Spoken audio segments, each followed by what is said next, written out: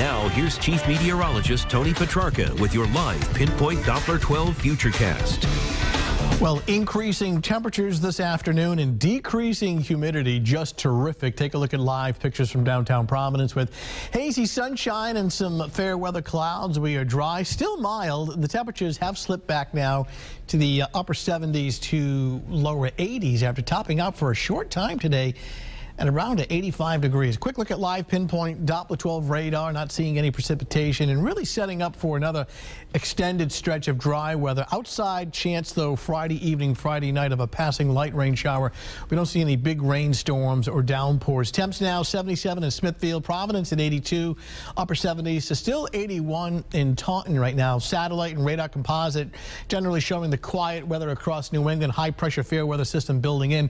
We're in between systems. One is a tropical low uh, off the coast of the Carolinas with showers and storms and more activity through the Great Lakes, but in between staying dry, and we'll keep this dry wedge of weather over the next couple of days. Again, by Friday evening, Friday night, slight chance of a, just a random shower coming through. Getting real close, we'll take a look at Futurecast starting off this evening. Just beautiful, 7 o'clock this evening in the low 70s. We'll take you through the overnight hours, very comfortable and dry.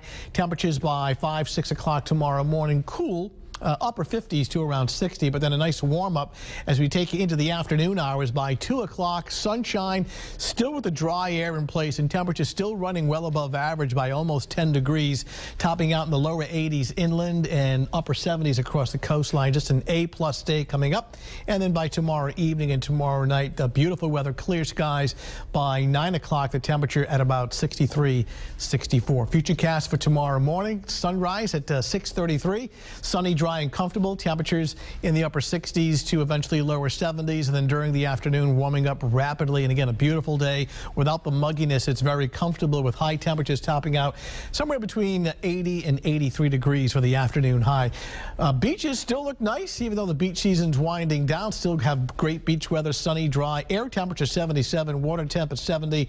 Safe sun time coming in at around 20 minutes. Still a, a low risk of rip current. Of course, today, the last official day of summer. Autumn begins officially tomorrow morning at uh, 1021, but it will feel more like summer. Seven-day Futurecast. I mean, even Friday is still warm before we have a noticeable cool down uh, by the weekend. High school football Friday evening, Friday night, for the most part, it's looking okay, but once we get to around 10, 11 o'clock, by then most of the games are over. Chance of an isolated shower, but otherwise a comfortable evening. Look at the weekend and how much cooler it is. I mean, it's nice both Saturday and Sunday, but daytime highs mid and upper 60s and nighttime temperatures 40s and 50s. Alzheimer's Walk at Roger Williams Park Sunday morning. Weather looking good for it that. looks good. Yeah. All right. Thank you, Tony.